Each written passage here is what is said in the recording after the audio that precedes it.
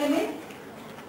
The oral session will be judged by Professor Manish Pirani sir, Dr. Priyanka Dadupanti ma'am and Dr. Vimal Sar- Sharma sir. So I would like to request uh, Dr. Priyanka Dadupanti ma'am to please come on stage. So the first oral presentation is Komi Koyama from Saitama University, Japan.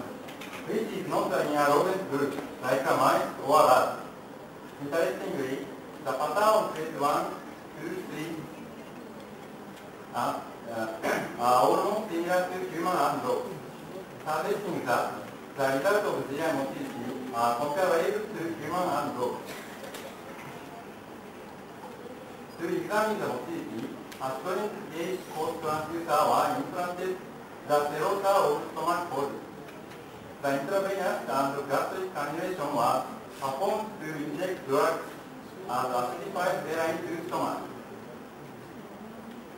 We studied the effect of gastric infusion of acidic saline on the morphine-induced gastric contraction.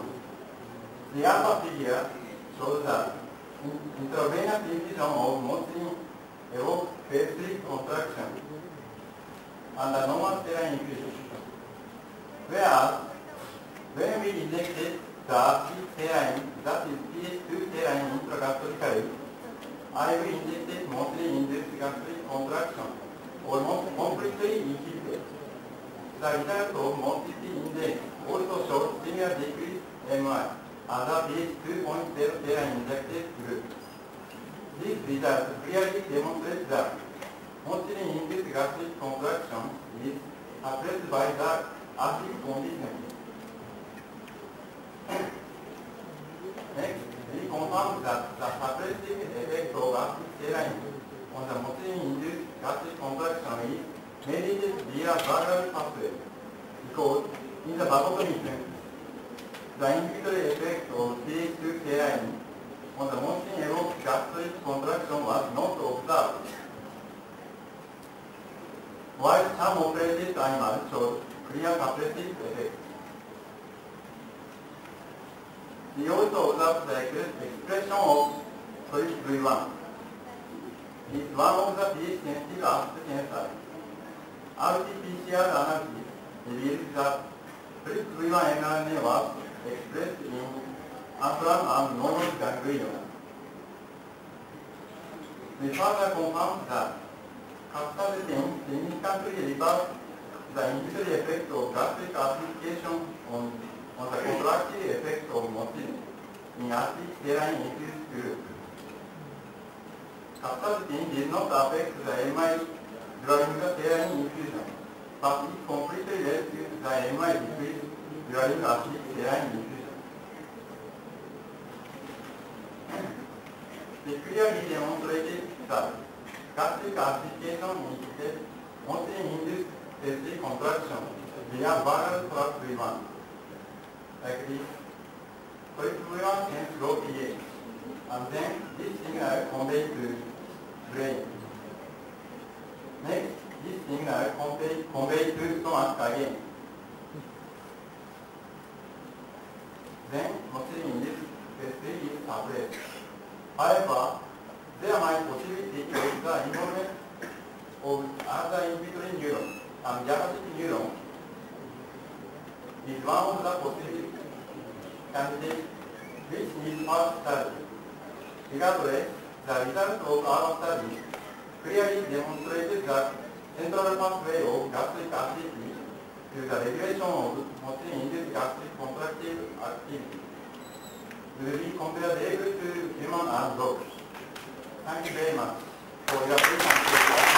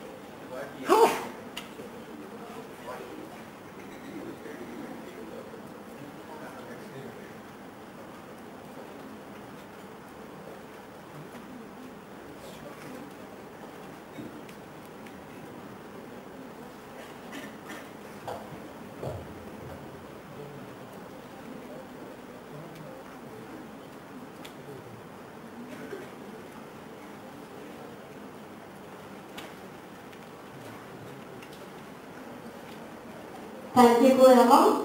Now I would like to invite our next researcher, Amrita Budani from Saitama University, Japan on the stage for the oral presentation. Please welcome Amrita Budani.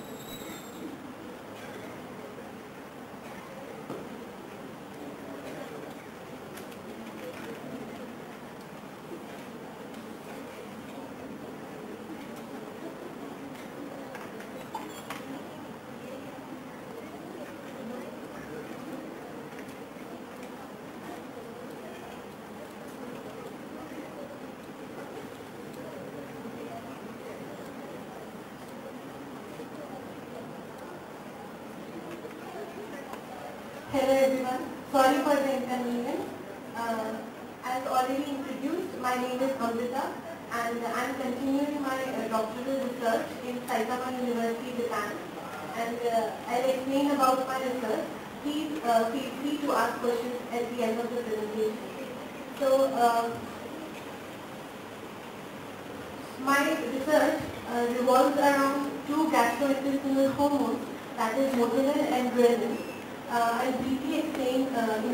about that. Uh, motilin and ghrelin, they both are uh, peptide hormones which are uh, secreted in the gastrointestinal tract. The motilin is secreted in the duodenum and the ghrelin is secreted in the stomach and they both are secreted in the interdigestive state. And uh, the, although they have other physiological functions as well, but the main uh, function is to induce the gastrointestinal motility. So, uh, the major feature of the gastrointestinal motility is the migrating motor complex. So, uh, in the interdigestive state or in the period between two successive meals, our gastrointestinal tract it undergoes a coordinated uh, cyclic motor pattern which is known as the migrating motor complex and it is uh, physiologically important for the chemical and mechanical cleansing of the tract in order to prepare the fat for the next meal.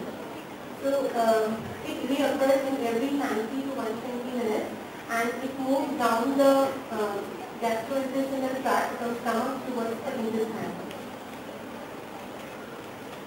It consists of three phases and the phase 3 is the most robust and the phase 1 is most uh, quiescent phase. So, uh, although several physiological factors are responsible for the migrating motor complex, but uh, the motilin concentration is, uh, the, is found to be most important and also the plasma motilin concentration is found uh, coinciding with the motilin phase 3 gastric phase 3 contraction.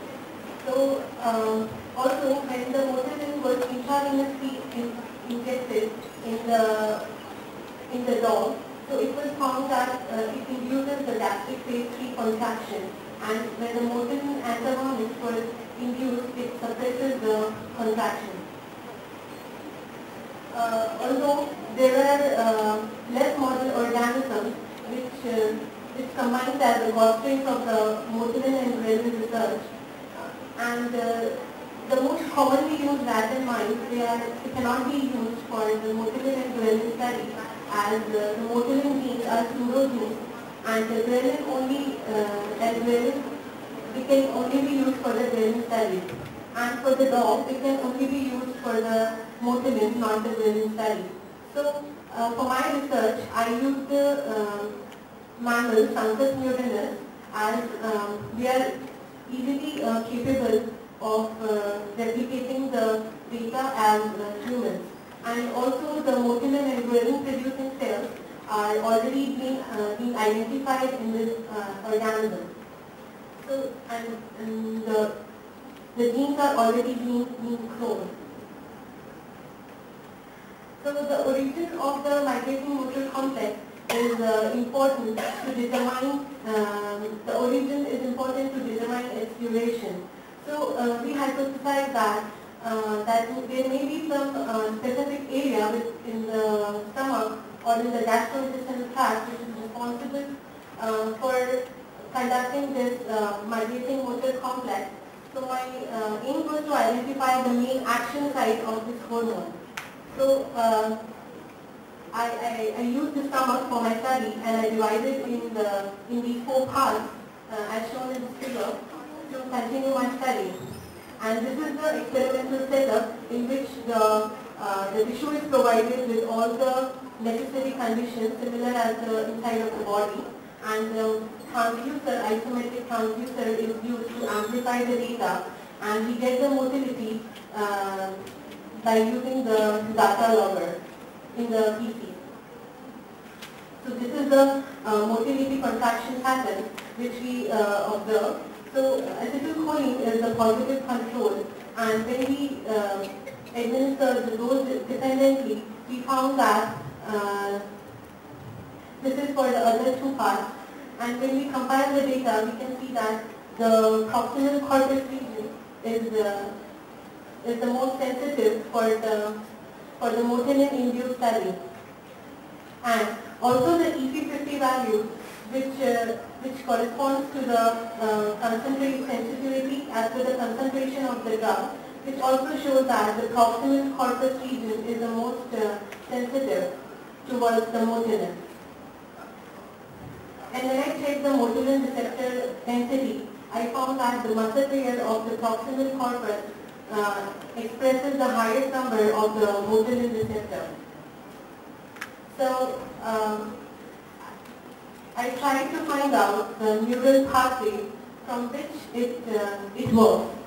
Uh, I tried with the atropine and it suppresses the spontaneous contractile activity and also it inhibited the motilin-induced contractions in all of the parts of stomach. I also checked the involvement of the um, voltage-gated end channel blockers. So it also were inhibited by all the sequences. So this study, uh, it summarizes that the motilin stimulates different contraction responses in different parts and it is mediated through the cholinergic neural pathway. And the proximal corpus is the most sensitive site which is responsible for uh, conducting the migrating motor complex. That's all for my presentation.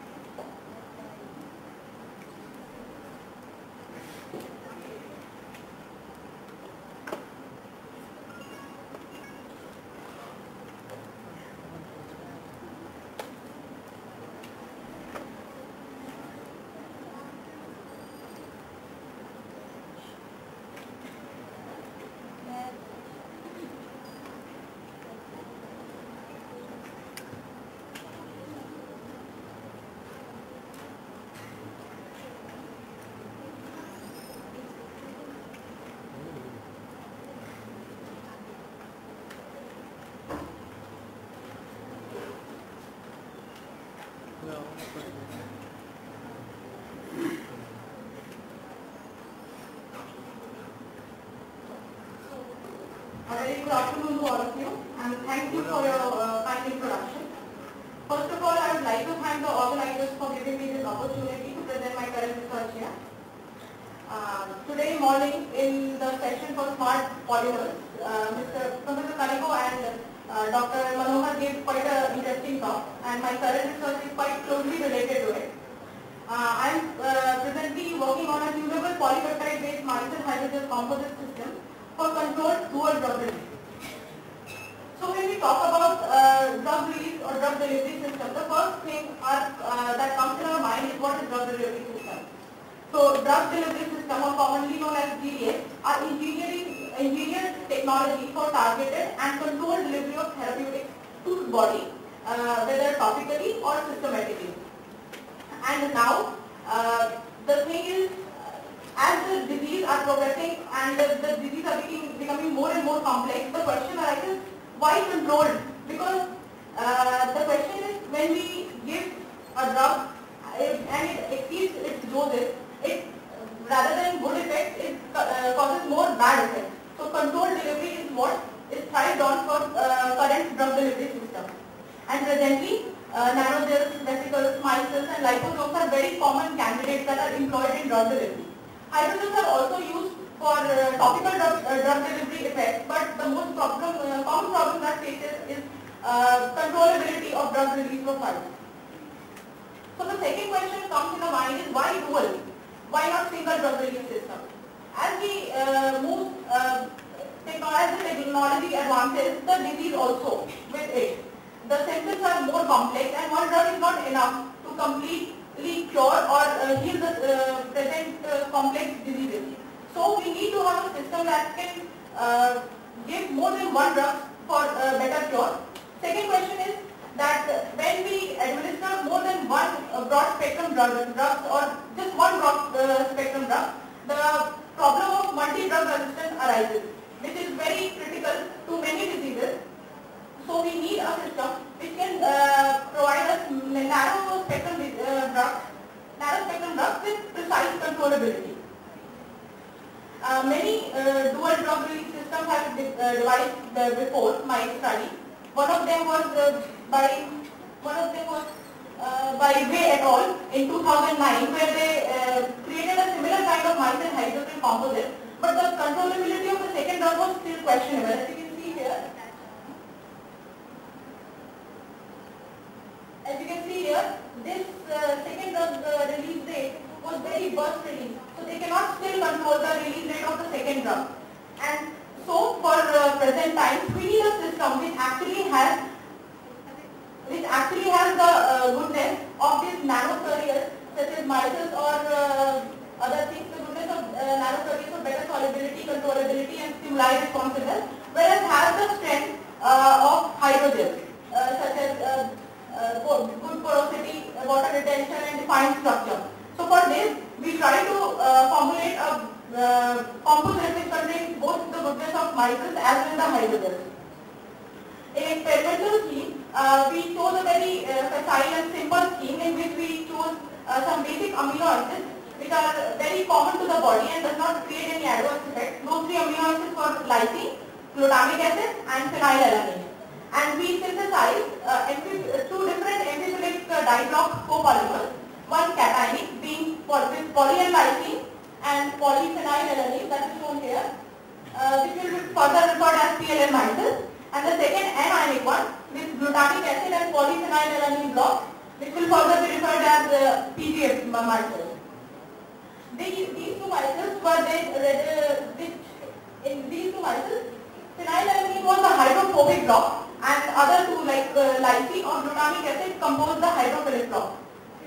So the uh, lysine chain usually has pendant NH2 in their uh, side group. So we use this pendant NH2 to uh, cross all the PLL micelles to each other which were loaded with drugs. The model drug was curcumin and uh, they, these uh, cross-link networks trapped it inside the PGA drugs which were actually loaded with amphotericin, a second model drug. So after this all drug loading and gelation, we found a characteristic blue gel which uh, was quite stable and uh, can be easily found at room temperature. So uh, moving to the results part, uh, before gelation, we tried to actually characterize our uh, systems, the micelle system, and we found that both micelles were quite stable till 14 days. Usually, uh, the micelle stability is quite essential because they are the ones that hold drug. So our micelles were quite stable for 14 days and they show very uh, low uh, polydispersity and are very found to be very stable and spherical in shape. Further, uh, we uh, try to contemplate the drug release studies and during drug, drug release studies we found a very interesting result. First of this was when we uh, changes, we changed the crossing density from 0.5 to 5 percent. Uh, we see that in curcumin, the drug, the micelles that were crossing to each other, uh, the curcumin was loaded in that micelle. So the curcumin, uh, on increasing the drug uh, crossing density, the curcumin was uh, rate uh, was decreasing. Like when we moved from 0.5% to 5%, the rate of uh, release of curcumin was decreasing from actually 69% to something uh, 37%. Whereas oppositely in endothelium, when we moved from 0.5% to 5%, the rate of drug release was drastically increasing from approximately uh, 45% here to uh, 92 or 90% uh, in 7 days. And further, uh, as our uh, micelles were quite starved, so we tried to um, see the effect of pH on their drug release profile. And again we found very contrasting results like moving from higher pH to lower pH, like from 11 to 3. Uh, the uh, PNL micelles, that is glycine showed an increase in uh, their delivery rate, whereas on the same trend, moving from pH 11 to 3, there was a decrease in uh, the rate, see this is 11, uh, increase the rate of uh, endothelium micelles. And finally, uh, in the conclusion, I would say that an enzymatic polypeptide system was uh, successfully devised for dual drug delivery. And these micelle composite systems uh, have contrasting release profiles on different cross-linking density. These profiles can also be finely tuned on the basis of drug release profiles of surrounding pH. Uh, we further studied this uh, system on various other parameters like composition surface charge, but due to time constraints, we did not put all those results here. So I will end my talk with this, and thank you for your time. today.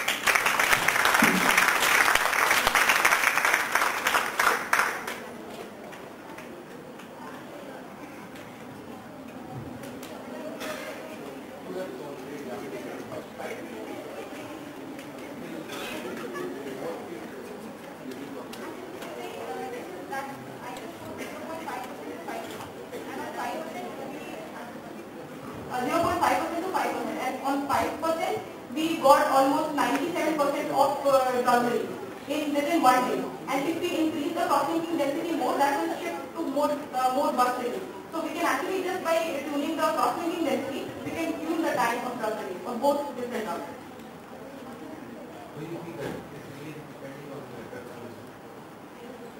Uh, actually, because yeah, we have checked two drugs and the maximum drugs that are available in market are like kind of hydrophobic drugs.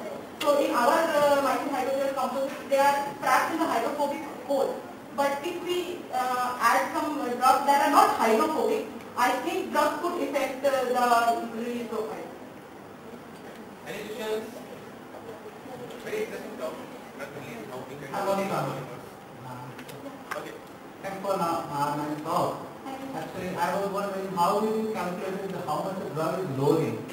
Actually, uh, sir, uh, we calculated because uh, these polymers, they were actually soluble in water. They form micelle in water. So first what we do is that we form, uh, we dissolve the drug as well as the polymer and dialyze them uh, with uh, water. So they form micelle. Then we freeze dry the micelle, take a definite concentration of the micelle and uh, dissolve it in, uh, it in DMSO and then we uh, actually measure it by uh, visible spectroscopy. The Did you find out the homogeneous drug composition in every micelle because you are changing the concentration of the micelle also. And that cross-linking might affect also the drug loading capacity. If the drug loading capacity is not homogeneous, how might it affect the, uh, probably might affect also the drug releasing capacity. Uh, actually, because when we use two different kinds of micelle, we assume that the drug loading is uh, homogeneous because we actually gave the system to stabilize, uh, we gave a lot of time to the system to stabilize. Actually, we dialyzed it for two days, which was quite enough to actually uh, have the hydrophobic core filled with drugs and remove the extra drugs. So we uh, assume that the system is uh, uh, homogeneous, but I will surely take your point in consideration and try to respect that. Uh, one more point is that you mentioned uh, the stability of the uh, micelles, right? So did you also check the stability of the micelles when you are changing the cross-linking of the polymers? The percentage? Actually, yes. Uh, when we change, uh, change the cross-linking density, uh, we dialyze the composites for around two days and we check the, uh, the surrounding buffer. Uh, we check we check it by GPC to see if there are any uh, micelle chain or polymer chains found in GPC. But we uh, found that there was no such polymer found in GPC or such high weight peak. So we uh, conclude that the micelle is not destabilized even after the cross-linking. Thank you.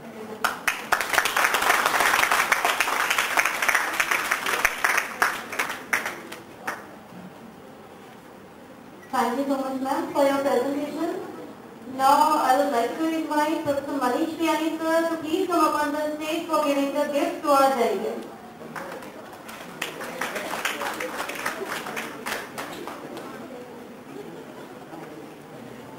Yes, moving on to our next uh, presentation. Uh, for this, I would like to invite Dr. Amit Kumar from University of Delhi on the stage for this presentation. Please welcome Dr. Amit Kumar.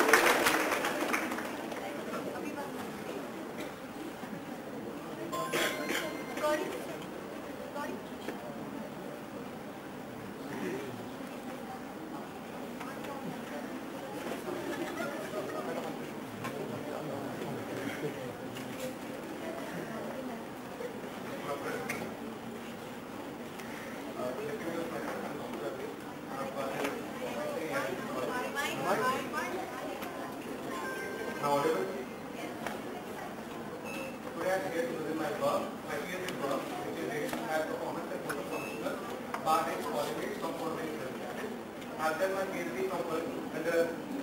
supervision of Professor Sabtu Sariko. Let let me start my presentation by giving some background of- about the polymer. Polymers are the mo- large molecular molecules composed of remaining elements called monomer. We know that they play a very essential, very important role in our day-to-day life, like we are using utensils, we are using it as a rubber, we are using it very light uh, uh,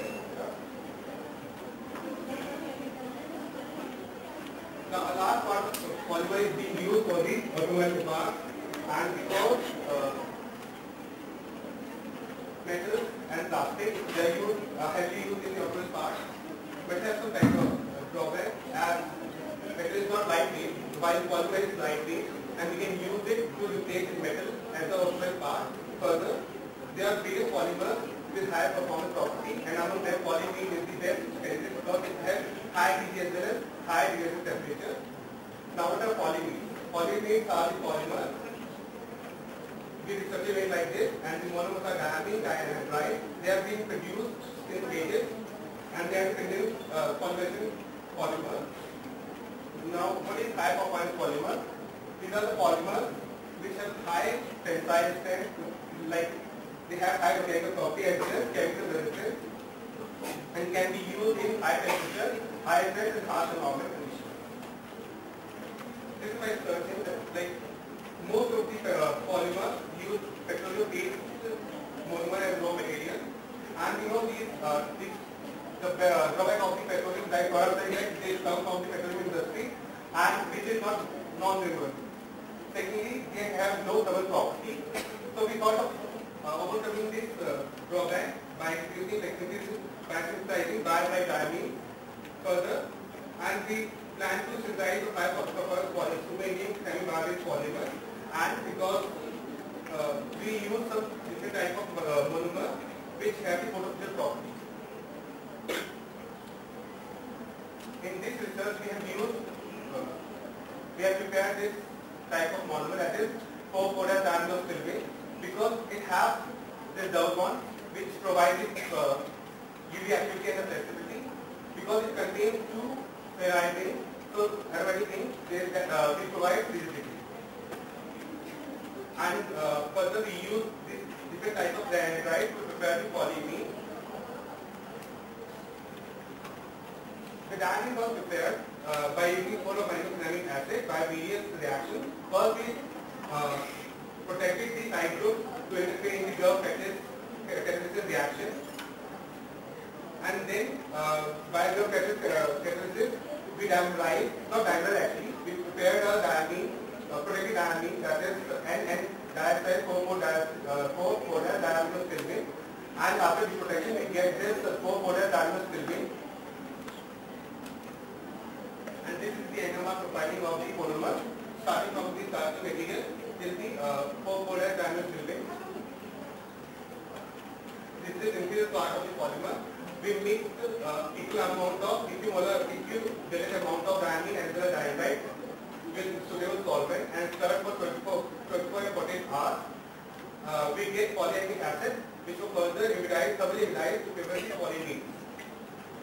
There is the reaction, uh, the reaction, reaction and this is the precipitated sample of polymer. This is another discussion. We get above 90% yield of the polymer and most of the uh, polymers, uh, all of the polymers, most, all of the polymers have the high molecular mass as well as they absorb in the range of 350 to uh, 350 to 354 nanometer, uh, nanometer and they have the high uh, viscosity. This is the the prepared polymer. Uh, after preparing the polyacrylic acid, this is the process of polyimide, uh, preparation of the film the film was prepared by steam coating and then uh, solvent was evaporated by on hot plate and the cooling of the PAA that is polyacrylic acid film and then it was completely ignite by keeping the polymer polyacrylic acid film in the oven for one hour at 100 Celsius, 150 degrees Celsius, 20 Celsius and 250 degrees Celsius. This is the polyacrylic acid film and this is the polyamine film. There is the FTIA to confirm the uh, complete immunization. FTIR was plotted for PAA and PI. PA stands for polyacrylic acid and PI for polyamine. The complete immunization was uh, confirmed by the disappearance of P. Capillary P. Now this is the thermal and kinetic property result. We observed that the uh, for polymer PI3 we have the highest tensile strength which is higher than the commercial sample capture which is 120 megapascal and most of the uh, most of the polymer polyamine have the high desired temperature above 450. The prepared poly uh, poly polyacrylic acid was soluble in Hydrotic uh, solvent such as NMP, diethyl sulfoxide, DMF and DMAC. After reduction none of the polymer was soluble so they are chemically stable. The UV visible spectra because of the presence of the double bond, the polymer was UV active and we observed uh, the UV uh, max around 354 nanometer. And further, if the polymer fluorescence, this is the solid state and this is the solvent state. We calculate the factor polymerization at 24 hours to get the highest tensile strength of the polymer.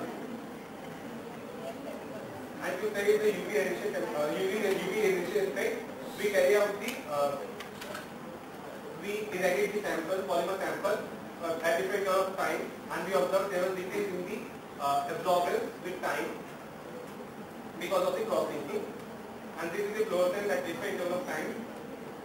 We observe uh, complete non no uh, fluorescence after 8 hours because of the cross-linking and this is in computer I have prepared uh,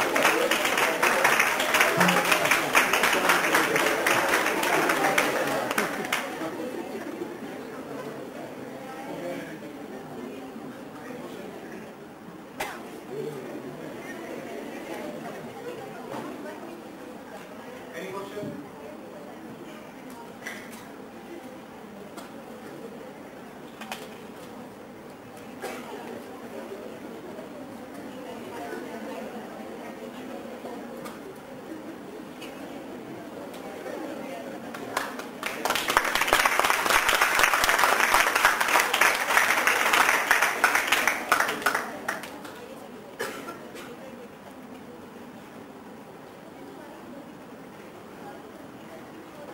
Thank you so much, sir, for your presentation. Ladies and gentlemen, now we are celebrating uh, and we are organizing 11th anniversary of our bilateral conference and it's a great, great honor for all of us to have our delegates among us today. And now it's time to show our beyond gratitude towards our guests. So for this, I would like to invite all our delegates on the stage for accepting our gratitude.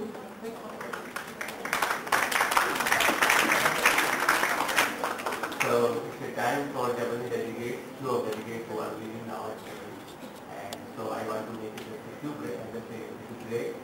So I would like to invite Kondo-san, Toyama-san, Okuda-san, and Yoshinaka, Kaneko, and Monika-san to come over the time.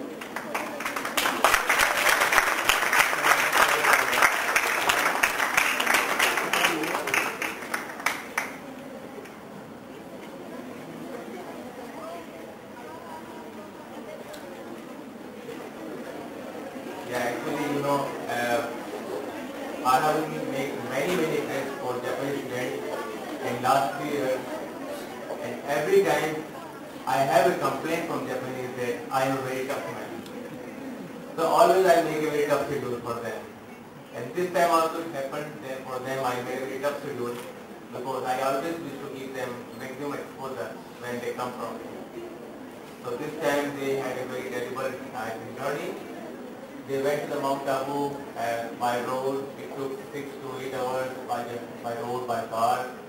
Sometimes they missed the road, but they traveled a lot. But I really appreciate because I want to use the energy that you have so you can see the real culture or real environment we have in India. So I really appreciate your, uh, your tolerance for this trip. Thank you very much for that.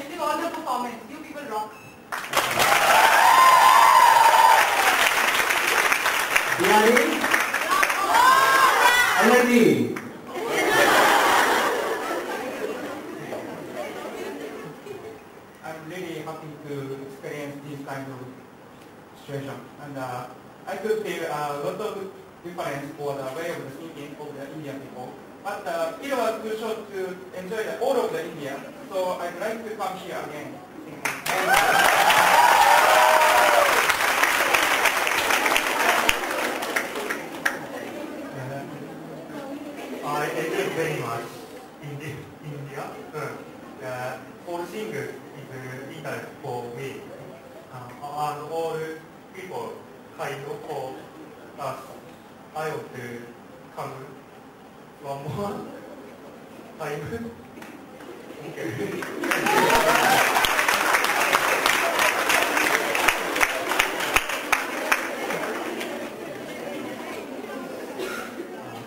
And everything is new.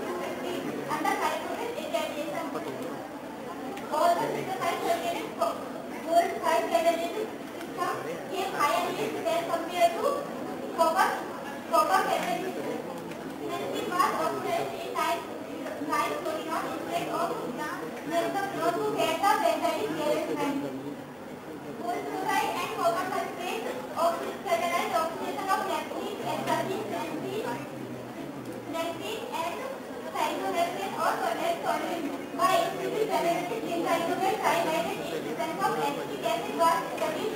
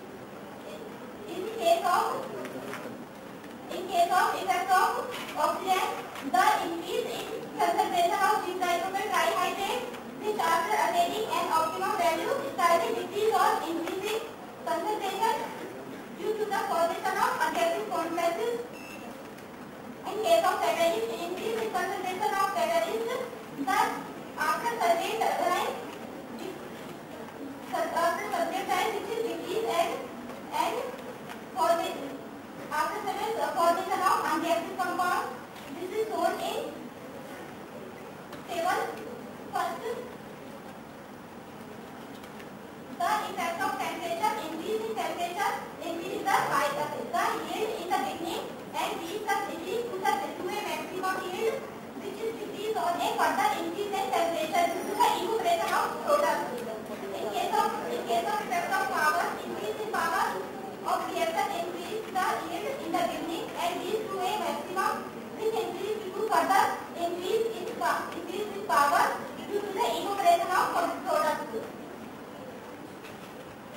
This is the comparison.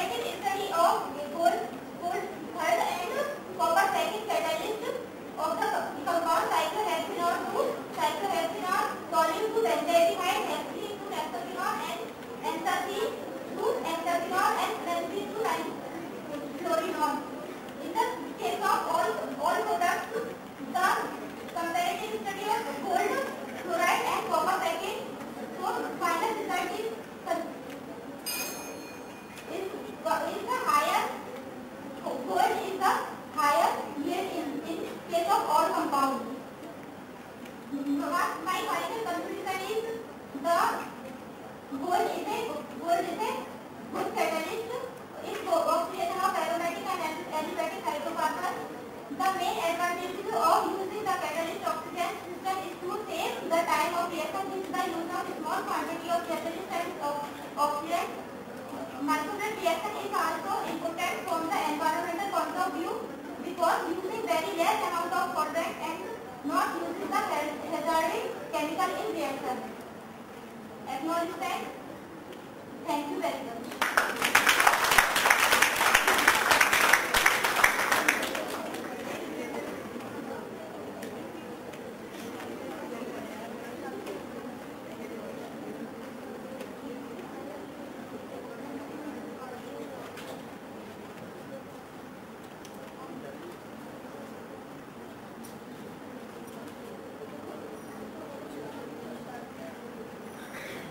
Thank you so much ma'am for your presentation.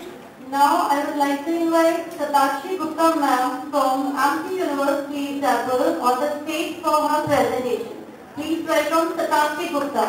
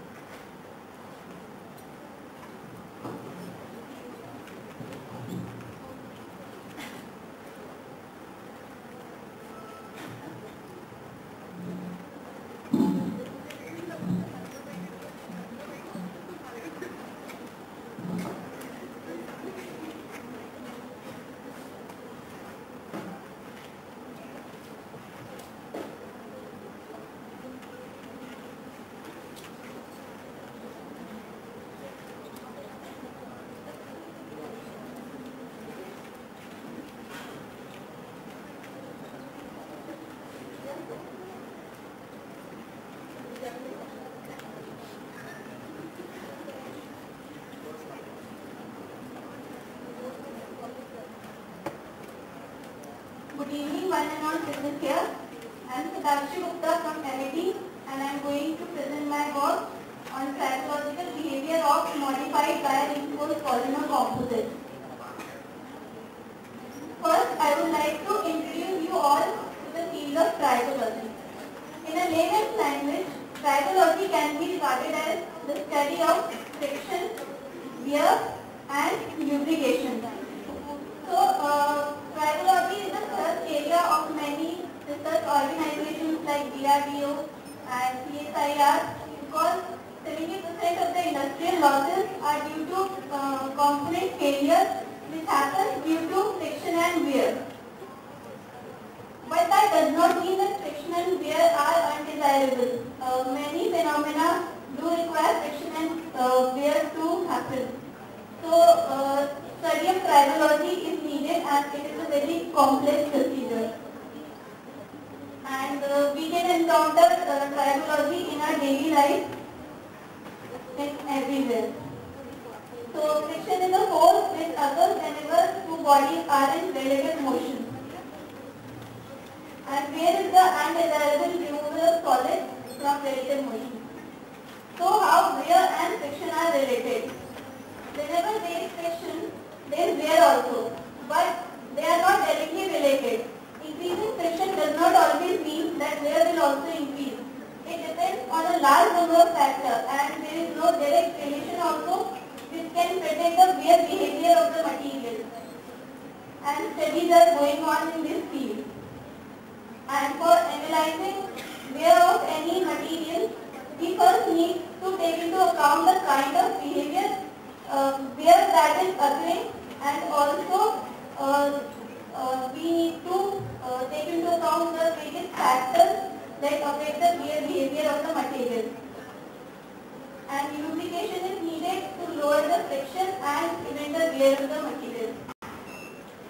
So the objectives of my research were to study the effect of jute fiber as reinforcement and also to study the effectiveness of graphite as lubricating agent in polymer composites and to study the tribological characteristics of the composite. So uh, there are many uh, techniques of formulating the, uh, preparing the uh, samples like compression molding and uh, but we chose hand layup technique because of its simplicity. And so the samples were prepared. These are the pictures. And this was the composition which was maintained. So uh, the test was conducted on disc tribometer and the samples were tested uh, for the track radius 40 mm uh, because the sliding distance was kept fixed. And these were the test parameters under these conditions the tests were conducted. So as we can see the test results that uh, the coefficient of friction it increases with increasing the load, a load applied on the material. And also it is clear from the graph that when the percentage of graphite, the graphite content which is used as a filler in the composite is increasing, the coefficient of friction is decreasing which is a desirable result. And also similar result can be obtained in these graphs also. And also the wear loss was also decreased on uh, decreasing the graphite content. And with the increasing velocity, the uh, wear losses were increasing. So uh, I would like to conclude that uh, coefficient of friction decreases with the increasing content of graphite. And a possible explanation for this can be uh, because the structure of graphite is layered. So it is a solid lubricant and so it is helpful in reducing the uh, coefficient of friction. And also the coefficient of friction increases increasing the normal load and sliding velocity. This happens because uh, the contact temperature it increases due to the frictional heat and this results in the coefficient of friction. And also wear increases because of this uh, when frictional heat is generated the, uh, it leads to softening of material and this induces uh, more uh, wear loss, material loss. And from the results we can see that the uh, behavior of 6% and 8% uh, composite is almost similar. Hence we can conclude that 6% graphite content is optimal for enhancement of tribological properties. And there are many major applications of this composite and also uh, in these areas we are uh, now using uh, synthetic fibers so we can instead use jute uh, natural fibers like jute which are biodegradable, renewable, cheaper, uh, lighter in weight. So there are many advantages of using these natural fibers instead of uh, synthetic fibers. And I would like to thank my guide uh, for his uh, guidance and I would also like to thank Advanced Research Center for Tribology for providing me the facility to carry out my work. Thank you.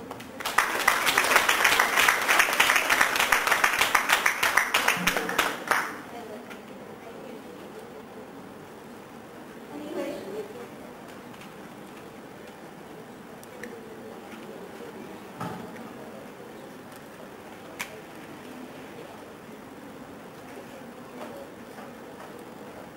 So the next candidate for the oral presentation is Mr. Vijay Singh from Delhi. So let's welcome Mr.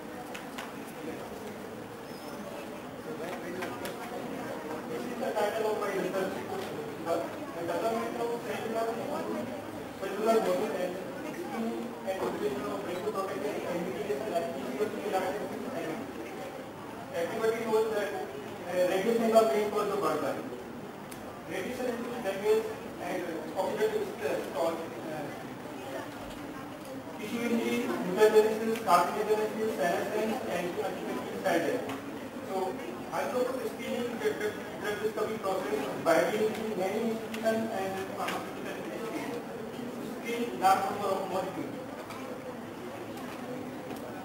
All these molecules have been screened for antiprotective, but some, as, as shown in red color, these are only under clinical trials. Only one compound is amifloxacin. Amifloxacin. Only one compound is radioprotective, but some uh, dose limitation and toxicity. So here is the very uh, pressing need to safe and non-toxic radioprotector for uh, medical purpose or other human use. Hydrocope. So development of cellular model. Development of cellular model and biosensor or hydrocope screening is a recent trend in for clinical and non-clinical scenario. Uh, during project investigation, we were successfully developing a NKE radiant GMP reporter cell, the biosensor. Uh, and it's the large number of molecules. You can see here the large number of molecules, the synthetic or natural compound have been screened using the TLR and kappa B legacy reporter and found the PEM2CG is the PEM, PEM2CG activation. PEM2CG is the strong activation of NF-kappa B activation which activate the NF-kappa B period cold increase activation. This is the chemical synthesis, chemical nature or chemical nature of molecule. Further, the PEM2CG or uh, this is NF-kappa period uh, toxicity was performed using uh, cells. Uh, sulfuronium, good DSA proliferation assay and MGT reduction assay. MGT is the micro, uh, metabolic bio- biology or mitochondrial biogenesis. And you can see here that in the both the experiment, in both the experiment, up to 100 nanogram per ml per concentration are known toxic in both the experiment. Sulfuronium proliferation assay as well as the MGT reduction assay. Further, radioprotective efficacy of NF-kappa beams were measured with the two different cell lines, the MOD and NK cell, normal kidney epithelial cell and HK the pneumonia including kidney cell. You can see here, you can see the uh, LD90, LD90 different dose 90 were measured using gamma radiation but in two, three different cell lines. The HK, NK and uh, SCT2P, in the cancer cell. So here he found that the LD90 of acetic acid, acetic acid is the phosphate and uh, NK cell would three way, the LD90. Now here, now here we find out the radio radioprotective efficacy against lethal dose of gamma radiation. You can see here that 5 nanogram per concentration and 10 milligram percent, uh, 10 milligram uh, per ml concentration of uh, NF-kappa B the PEM2CG show that the drug administered one or three radiation in both the cases. So the almost in the both cases 60 to 65 radiation protection source. Uh, as well as it is also shown in the HCP90 cells. But interesting is uh, it is not protect cancer cell. Uh, the data is not shown here. So it does not protect cancer cells. It protects only the body normal cells. So it, and uh, further the mitigation efficacy, also show the mitigation efficacy. If drug administered 30 minutes post irradiation, I mean lethal dose, it shows the significant protection in both the cases. Both the cases. Further, the radio protective efficacy of TLR26 agonist probe find out the mechanism signaling pathway. So you can uh, see here that radiation protection observed in D plus R as compared to 3 any radiation, it is radiation against radiation and protect the uh, almost 60-65%. But in case of using Bay compound, Bay compound is the inhibitor, inhibitor of NF-kappa. If inhibitor applied before or before uh, drug plus radiation group, it does not show the radiation protection. It means this, compound will only protect the cell through the signaling, the survival pathway to less strongly support that this mechanism of compound. You can see here that nuclear translocation of. It is significantly higher in drug plus radiation group as compared to control or drug only or radiation only. You can see here that NF-kappa activation were found to be higher in case of D plus R the molecular imaging or uh, GFP process. Once NF-kappa is translocated in nucleus, it binds to the kappa site, which is, promo- which is presented promoter in the of more than 200 genes, which is related to cell survival, cell cycle regulatory, inflammatory, or antioxidant system of the cell. You can see here that the XIAP and cellulite, the uh, endogenous inhibitor of pro-apoptotic machinery. It means the inhibitor of X pages, caspase 3, caspase 7, caspase 9. You can see here that XIAP, cellulite expression was increased in D plus R group as compared to control. And caspase 3 expression decreased. And cyclin D1, cyclin D the main regulatory cell cycle regulatory protein in G1 to X transition. And it also show the expression of or significant expression of blood. Uh, in vitro radiation protection efficacy also measured the one C by in vitro model. A formula का 10 के the mechanism is very 94 mice model. 10 50 microgram per kg body weight administration or 2 hours before the radiation shows the 78 percent radiation protection in vivo. So this the uh, summary and conclusion. Conclusion the current investigation suggests that the peak can 2 Cg offer protect against either growth of radiation both in vitro and in vitro. This is the publication report. This is the publication. Any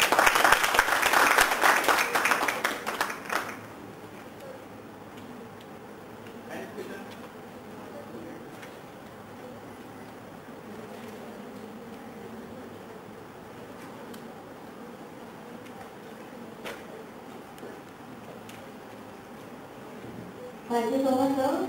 And last but not the least, I would like to invite Neelam chairman from Aarti University on the stage for our presentation. Please welcome Neelam Jalgaon.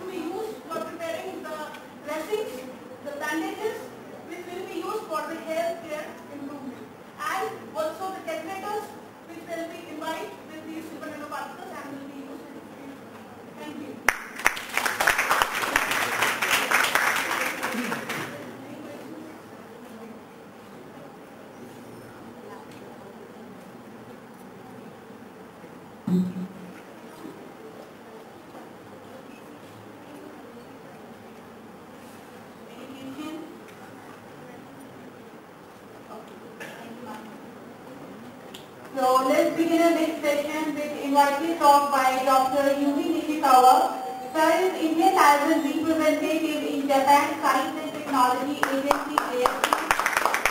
one of the largest funding agency under Ministry of Education, Culture, Sports, Science and Technology Japan basically concerned with the funding in the field of science and technology and in India it works closely with Department of Science and Technology DSC. So I invite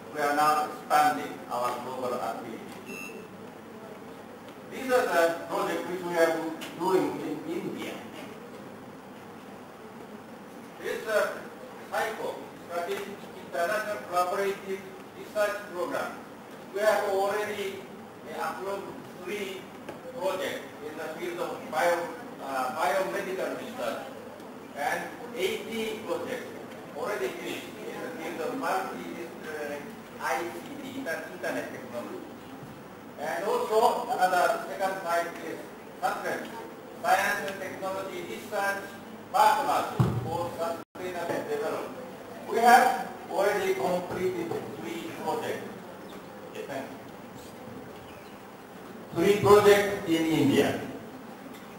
And one more. Sakura Science Plan. This I will elaborate upon later. Just, just wait. And this year, we are now starting four projects. One uh, in the field of SATREP, in the name SATREP. This is the project, joint project with JST and JICA. JICA is the Japan International Cooperation Agency. And we have already, uh, we are starting this smart city for emerging countries based on sensing, network and big data analysis of multi-modal regional transport system. We start this research work together with, with the IIT Hyderabad and in the in Ahmedabad, in the city of Ahmedabad.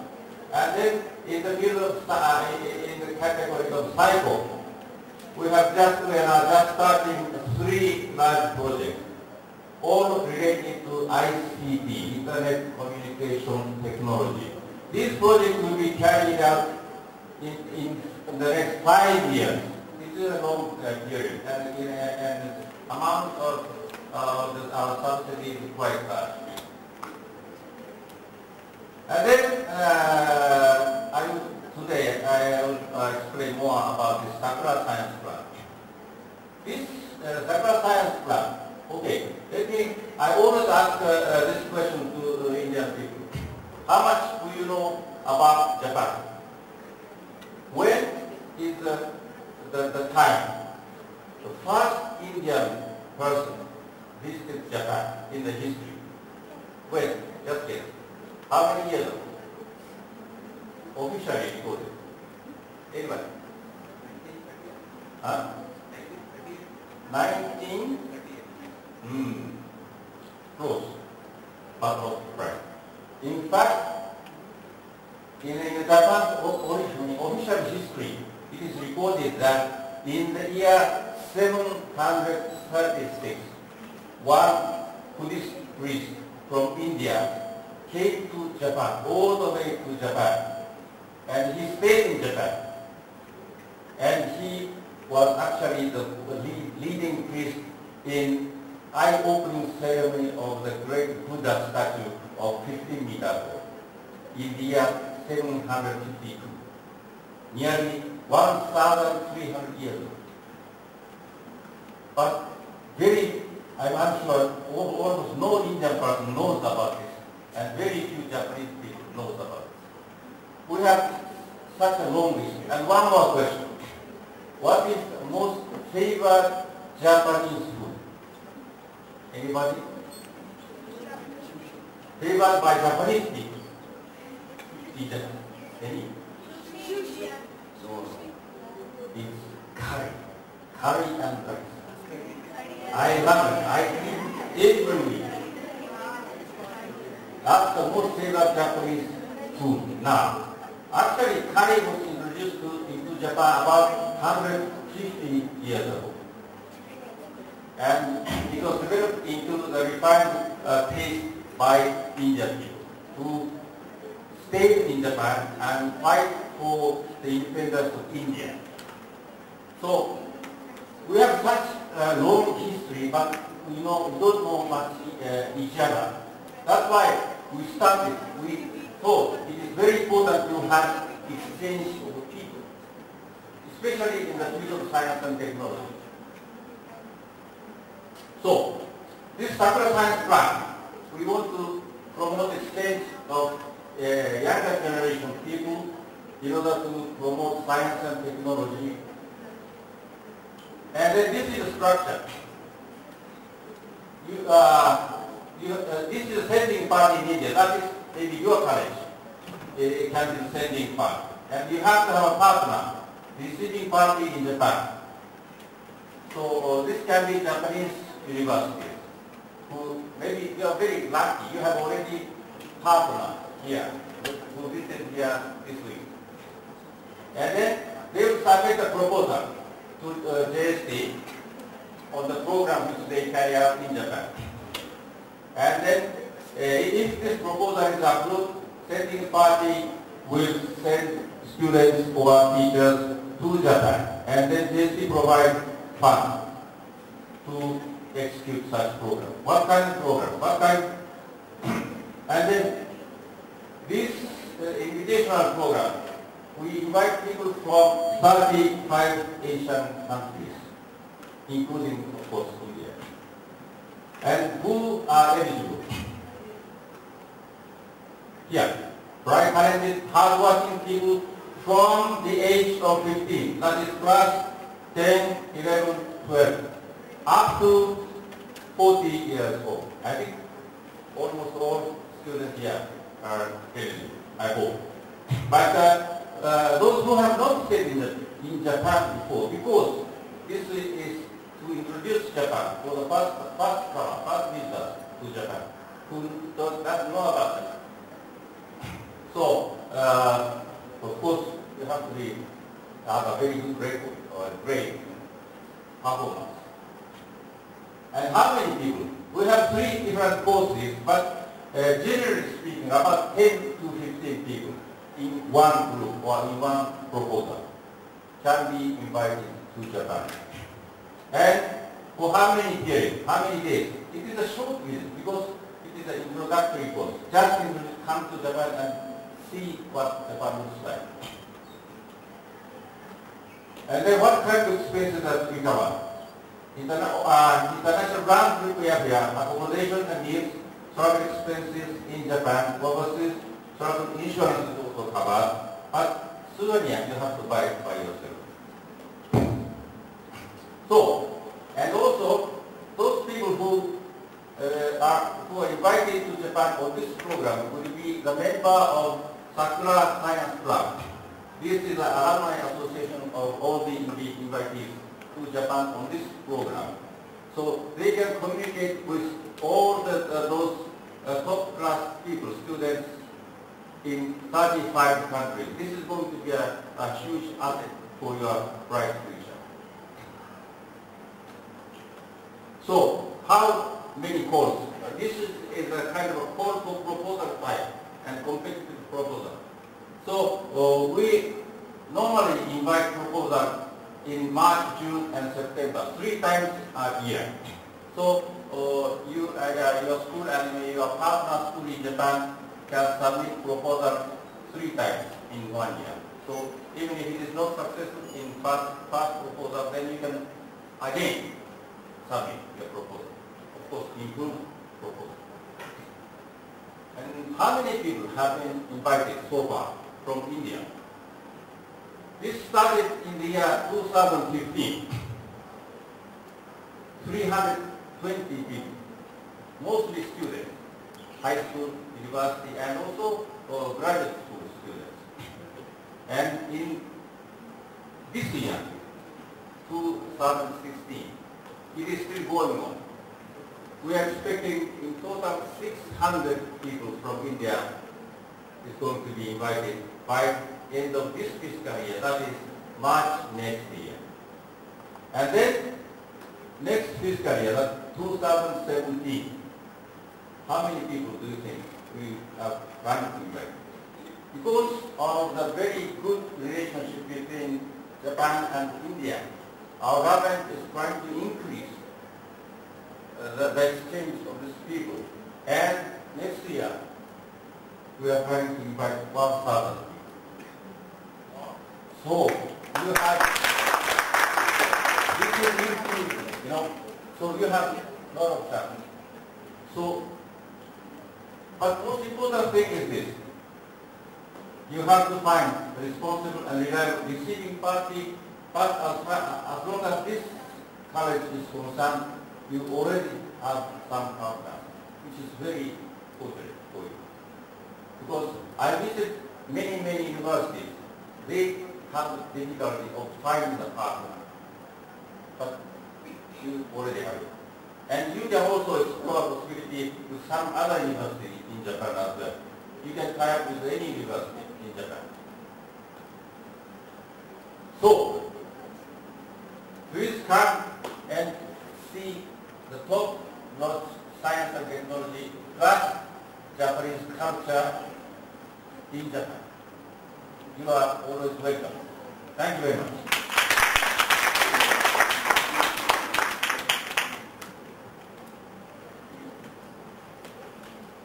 So thank you very much, uh, uh, because you know uh, this is the unique program that you can use to visit Japan, and then you can explore how to further extend your stay there. So just I, I am Yes. curious to ask, uh, while finding the partner in Japan, there is some condition that uh, they just, we just need to get a consent or Yes, we need, we need as to- long as you can persuade them to receive you, it's okay. And it, of course, depends on the content of the program. It has to be science-oriented program. So, but you can of course get uh, advice from our headquarters. So, uh, we can start preparation from now. Maybe we can submit proposal next March or February.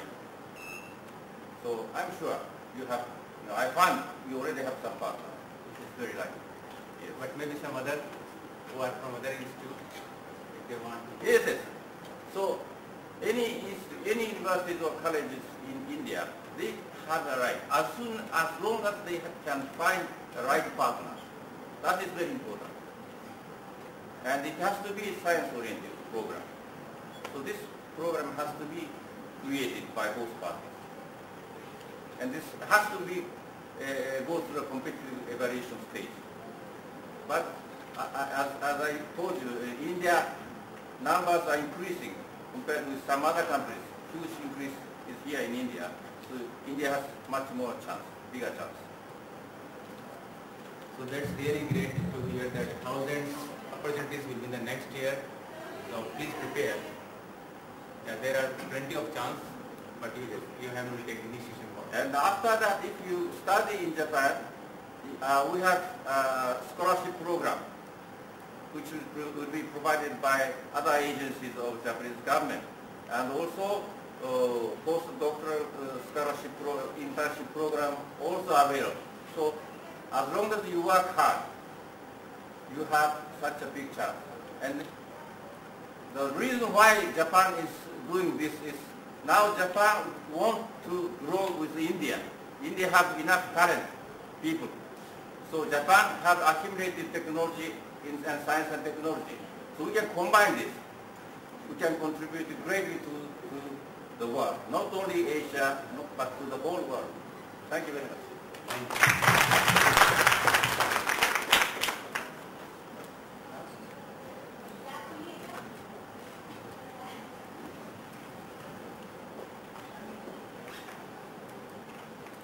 Thank you so much, sir, for your valuable words. And our next guest speaker is Dr. Madhu Biyani Mam. Dr. Biyani is a leading researcher in Mani University project of Japan, apart from publishing many research papers in her career. She is also recipient of many national and international awards during her professional journey of research field and also patents in her name. So I would like to invite Dr. Mam uh, to please come up on the dais for her session. Please welcome Dr. Madhu Biyani Mam.